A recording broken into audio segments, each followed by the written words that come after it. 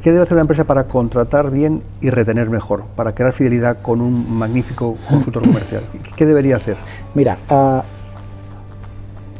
te, digo también un, titular que yo utilizo cuando empiezo todos los procesos de selección, ¿no? Cuando decimos, oye, vamos a hacer en mi empresa, ¿no? Vamos a hacer un proceso de selección. Recordad que no buscamos a profesionales formados, sino que formamos a profesionales que buscan.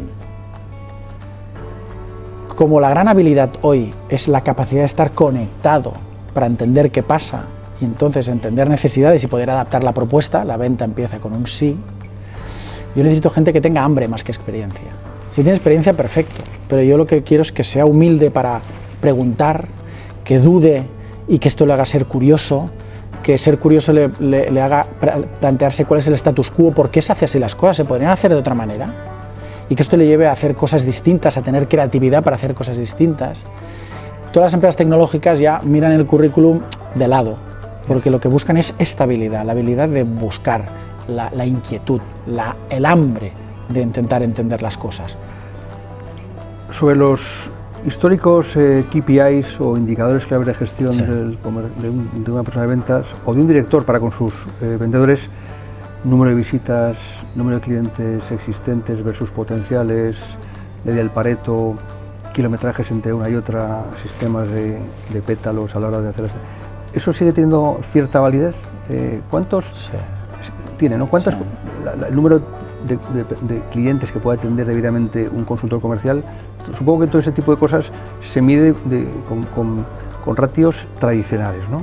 Sí, y de hecho... Uh en proyectos ¿no? que estamos haciendo. Nosotros en, en, en, la empresa que hemos creado, en Generaventa, tenemos 80 personas en la calle cada día vendiendo y evidentemente utilizamos muchos patrones clásicos porque tenemos que organizar las rutas, ¿no? lo que se llama las rutas, las visitas, pero sí que hacemos algo que no sé si es singular, pero sí que nos aporta muchísimo, que es dejar de pensar que, que nuestra gente es, eh, es una cosa estandarizada y, y sistematizada en el sentido de tú tienes que hacer tantas visitas al día y me tienes que reportar estas visitas y tiene que salir esta venta. Ya llegaremos ahí, pero lo que hacemos nosotros primero es entender qué queremos hacer. Es decir, yo qué quiero hacer con este cliente, dónde, estoy y dónde quiero llegar. Y esto me dará unas tareas. Cuando cojo todos los clientes, clusterizo. Tengo tantos clientes aquí, tantos aquí, tantos aquí, tantos aquí, que tienen que hacer estas tareas.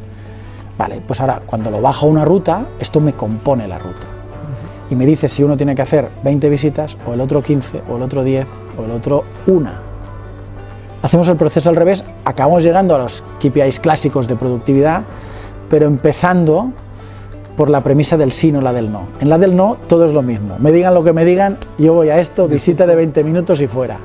Cuando vas a la del sí, e, es otra historia, porque me preocupa por el cliente. Y si me preocupo por ti, no puede haber dos visitas iguales. Que sí, porque clusterizas pero no es exactamente esto.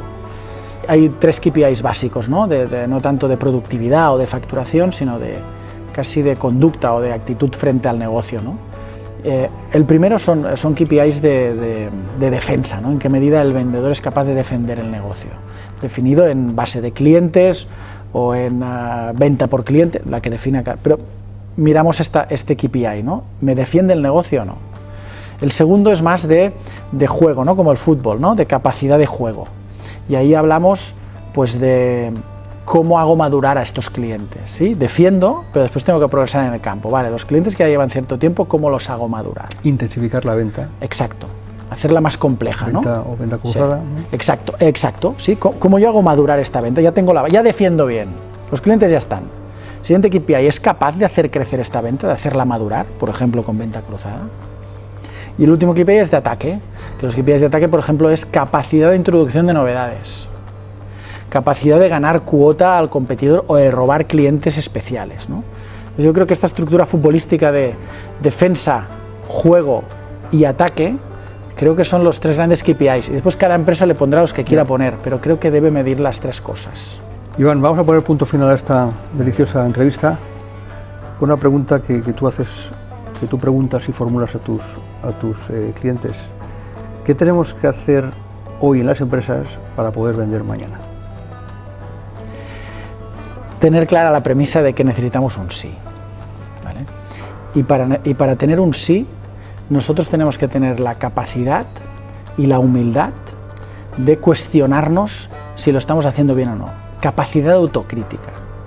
Primer pilar, capacidad autocrítica, dudar de nosotros mismos. No dar las cosas por hecho. Porque esto es lo que nos genera la curiosidad. ¿Lo podemos hacer de otra manera? ¿No lo podemos hacer de otra manera? Esto es imprescindible. Capacidad de dudar. Porque esto nos hará expertos. Como indagamos en el mercado y sabemos cosas, podemos posicionarnos como expertos. Recordemos que el vendedor informador crece pelo ya no funciona y que necesitamos la venta consultiva. La venta consultiva, cuando yo le digo, esta es tu necesidad y me dice sí, ahí empiezo yo como experto. Si me ha dicho sí, me posiciono como experto, porque no soy un papanatas que te ofrece algo que no te interesa. Y a partir de ahí empezamos a crecer. Y último punto, para no extenderme mucho, es la capacidad de implantación, de implementación.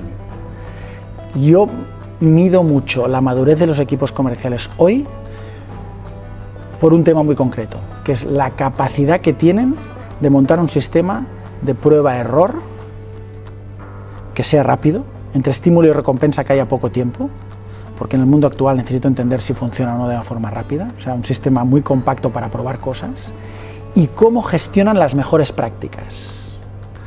Pues queridos amigas y amigos, ha sido un auténtico placer tener con nosotros hoy a Iván. Iván, mil gracias por dedicarnos este tiempo a nosotros y te deseo, como siempre, muy buena suerte. Gracias a vosotros por la invitación. A ti. Muchas gracias.